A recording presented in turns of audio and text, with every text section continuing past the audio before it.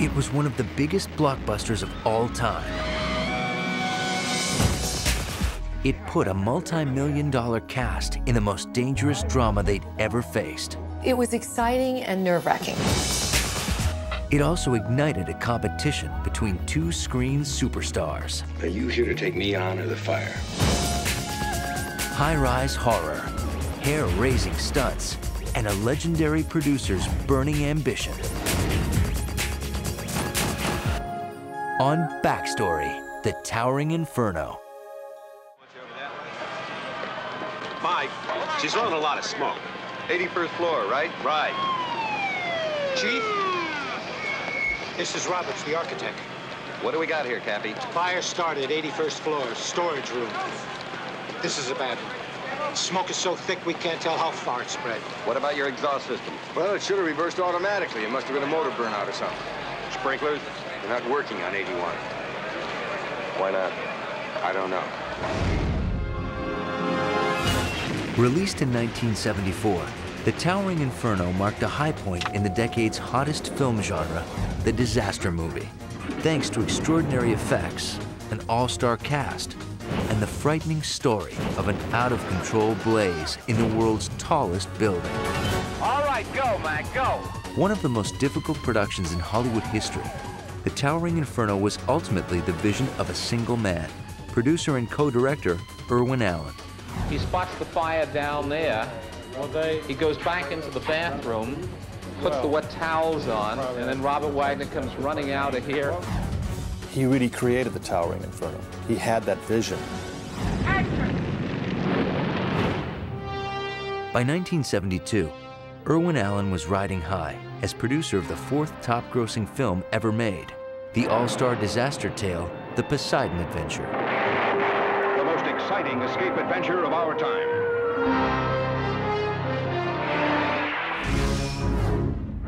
For his movie follow-up, Allen turned to an even more ambitious project that traded terror of water for the fear of fire. In 1973, he and 20th Century Fox began bidding for a soon-to-be published novel called The Tower. It was the chilling story of a blaze that starts during the dedication of the world's highest skyscraper. But after the success of the Poseidon adventure, every studio was scrambling to make its own disaster epic. And Allen was furious when he was outbid for rights to the tower by Warner Brothers. Refusing to surrender, he raced into action weeks later when he read the outline for a near identical novel called The Glass Inferno. He optioned the book, rushed it into pre-production, and came up with a plan that made Hollywood history. Allen demanded a meeting between the heads of both Fox and Warner Brothers. Armed with elaborate storyboards, he announced that Fox was already in the lead and said it would be suicide to make two big-budget movies with the same story. Instead, Allen suggested a single film, which he would personally produce. Impressed by Allen's pitch and his reputation as Hollywood's master of disaster, Warners and Fox agreed to the first studio co-production, The Towering Inferno. This is it. This is the big one. This is the Towering Inferno. This is the picture, ladies and gentlemen, that we here at 20th Century Fox believe will be the biggest grosser of next year. Bigger, we think and hope, even than the Poseidon Adventure. The film's budget was set for a pricey $11 million, with costs and profits to be split evenly between the studios. Allen hired Oscar winner Sterling Silliphant, co-writer of The Poseidon Adventure, to combine the Tower and the Glass Inferno into a single script. He then outlined the production with over 2,500 storyboards. All projects start with doing a visualization of an idea. How is it going to look on the screen? These remarkable artists translate to pictures that which the writer has put into words. Starting a picture starts with a picture. Say, that was rather clever. We would do diagrams of like a bird's eye on a sound stage with all the hoses, all the fans, all the fire stuff. And it was horrifying to the production people doing budgets when they realized what it was going to take. Hal, how's the money situation? A million one hundred and ten thousand dollars for miniatures only? Right. It's only money. In true Irwin Allen fashion, the producer hired the biggest stars that money could buy. Its ranks included William Holden as the builder of the world's tallest skyscraper, Fred Astaire as a charismatic conman, Jennifer Jones as a wealthy widow, Richard Chamberlain as Holden's unscrupulous son-in-law, Susan Blakely as Chamberlain's loyal wife, O.J. Simpson as head of security, and Robert Wagner as an adulterous PR man. Irwin Allen had the marvelous uh, way of being able to cast all those people in it. I mean, what a cast he got. Allen scored his biggest casting coup when he hired not one, but two of the industry's most in-demand superstars, Paul Newman and Steve McQueen. Their price was $1 million each, plus a percentage of the gross. McQueen was hired first and offered the lead role of San Francisco architect Doug Roberts. But the actor shocked Allen by choosing instead to play the supporting part of Fire Chief Michael O'Halloran. McQueen was convinced that O'Halloran would be a showier role. And since 1956, when he had a bit part in the Paul Newman film Somebody Up There Likes Me, McQueen was determined to surpass his rival. So the role of the architect went to Paul Newman.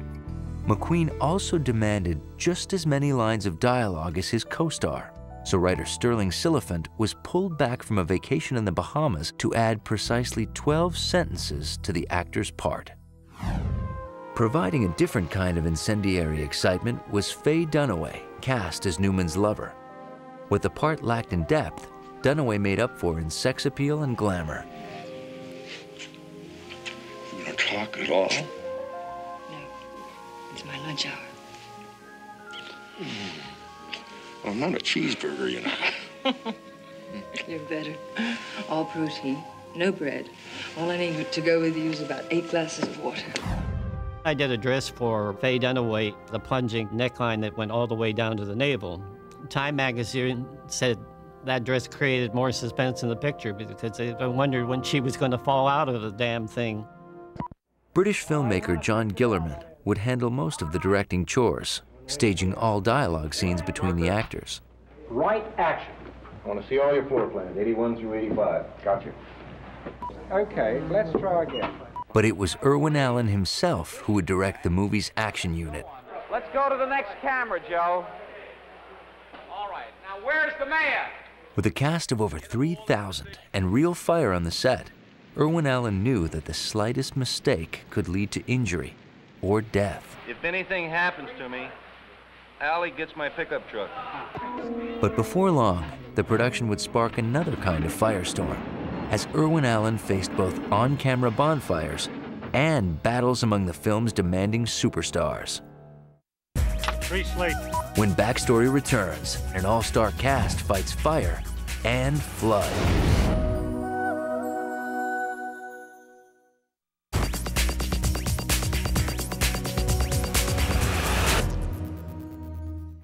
All right, Susan. Action! He turned away. He's at the door. He looks back. He smiles. He runs.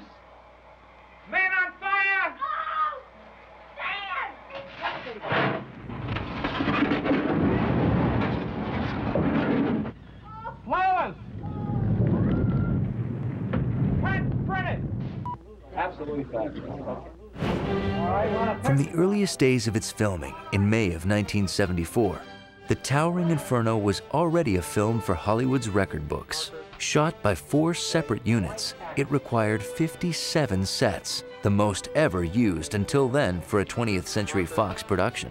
We shot San Francisco, the stages at Fox, uh, the miniatures, miniature so-called, was six, seven stories above the ground. So it was pretty awesome. We worked very closely with the LA and the San Francisco Fire Department. First thing that comes to you, well, how are we going to keep from setting off the sprinklers in the sound stage? And so at the meeting I said, well, that's easy, we'll just turn the valve off.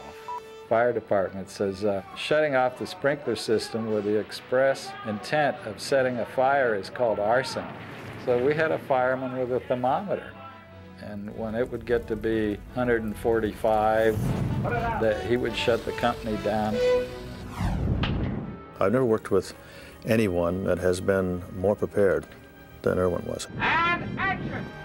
I had that big sequence to do when I had to dip down and get ignited by the fire. You knew exactly what was going to happen. Maybe that's why I ran through the fire.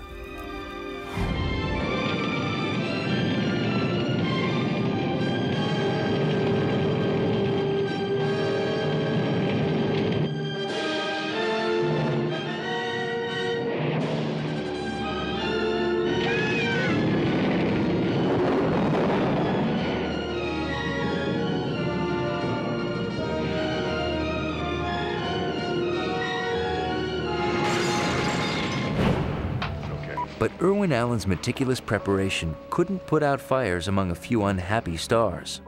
William Holden was reportedly bitter over his third billing behind McQueen and Newman, and over what he considered a one-dimensional role.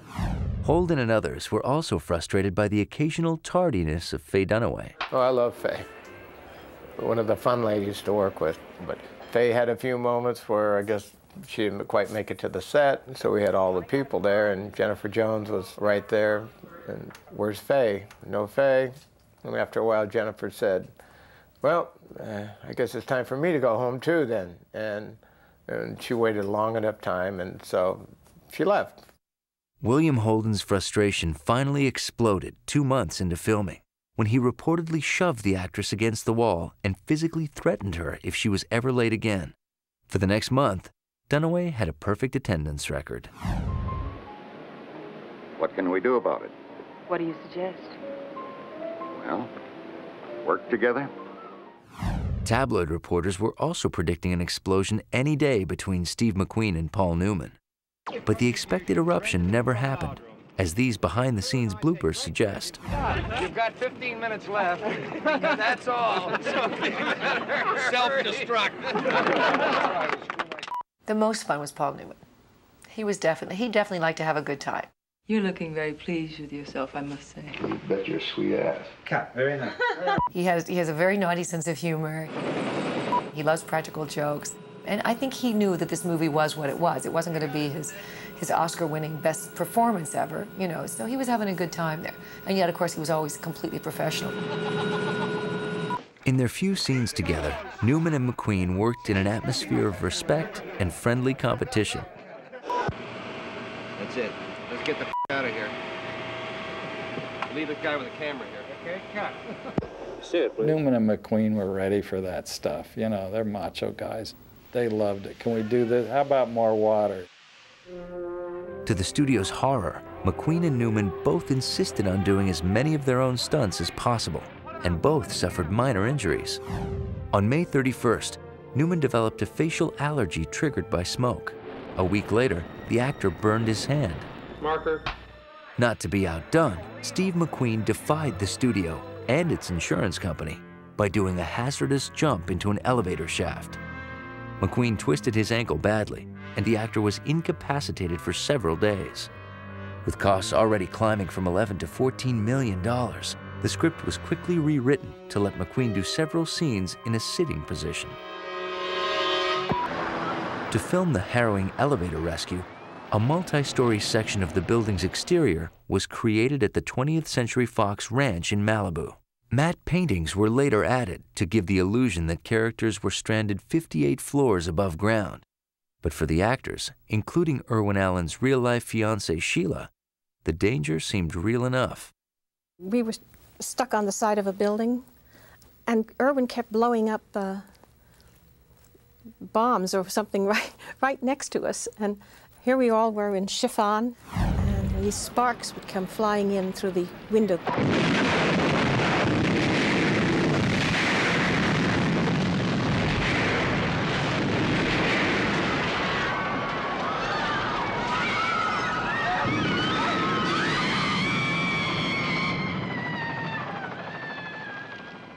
It was a bigger explosion than anybody thought.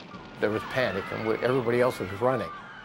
There were trees on fire that weren't supposed to be burning. So while you're busy acting, terrified and everything, you're going, you're hitting your, your dress to keep the, keep keep from going on fire. McQueen dropped me once, and I missed the airbag and everything on the stage. He came off that elevator and said, "You better pay this guy a lot of money." He was uh, a good guy.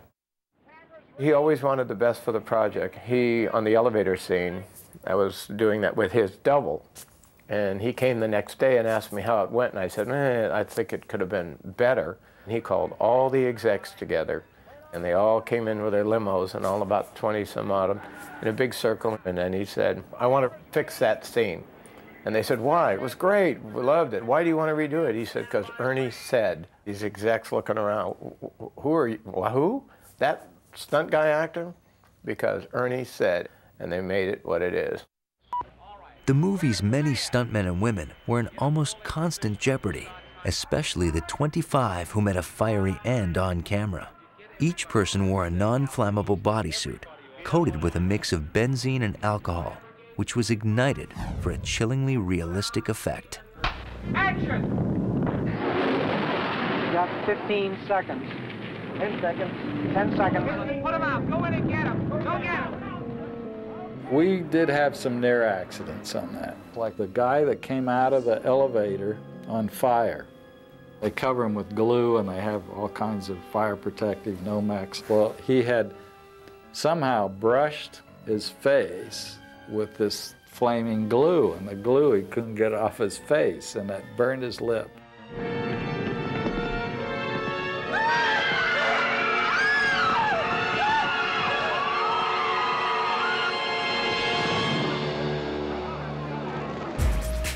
When Backstory returns, a final flood of creativity completes the decade's hottest blockbuster.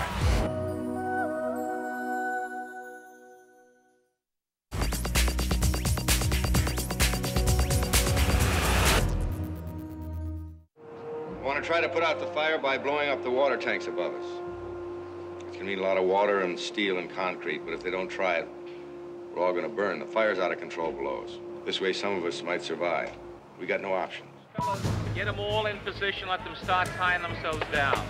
No sequence in the Towering Inferno would be more complicated or difficult to film than the climax, in which the skyscraper's main water storage tanks are detonated in a desperate attempt to put out the blaze. Camera number five, Parker. We now have speed on all cameras. I will count one, two, three, and after that, the big explosion will occur. Six giant water tanks were placed above the massive promenade set. It was built 11 feet off the ground to allow a vast water runoff and prevent the actors from drowning when thousands of gallons were unleashed.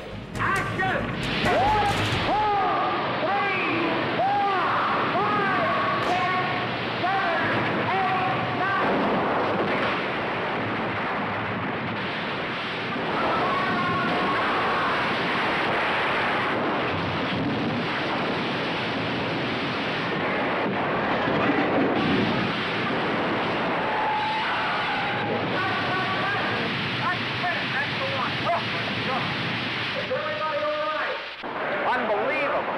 Beautiful. Absolutely fabulous. How about a round of applause? Good here. After four exhausting months of production, The Towering Inferno finally wrapped shooting on September 11, 1974. There were 69 sets when we started, but applauding the picture, there were only two when we finished. We burned down everything.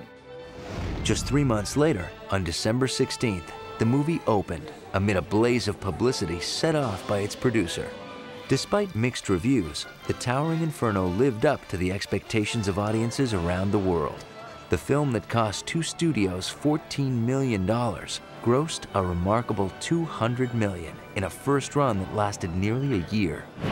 But the film did receive harsh criticism from builders who claimed that the movie gave an incorrect and inflammatory picture of safety in modern skyscrapers. Ironically, just two months later, a massive fire broke out in the world's tallest building, the World Trade Center. This picture opened up a lot of eyes. Codes within cities had to be changed so that all buildings had sprinkler systems and so forth, and fire escape systems. In 1975, The Towering Inferno defied its detractors by earning eight Academy Award nominations, including Best Picture. It went on to win three Oscars for Best Cinematography, Best Editing, and Best Song. You know, one of these days, you're gonna kill 10,000 in one of these fire traps. And I'm going to keep eating smoke and bringing out bodies until somebody asks us how to build them.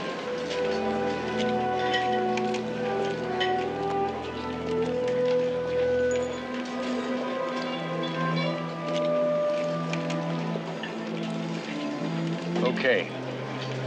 I'm asking. Over a quarter century after its making, the Towering Inferno continues to dazzle moviegoers with its irresistible blend of cliff-hanging adventure and stunning special effects. Its story of remarkable people overcoming incredible odds was also lived behind the camera on a production skillfully run by a fearless Hollywood showman. Irwin Allen took a big gamble on that picture, and uh, it proved to be pretty one of the best pictures of that kind. But he did it, and he loved it. It was one of the most thrilling experiences you could have on a, watching this thing being made. Towering Inferno will live for a long, long time. Thank you, thank you, and good night.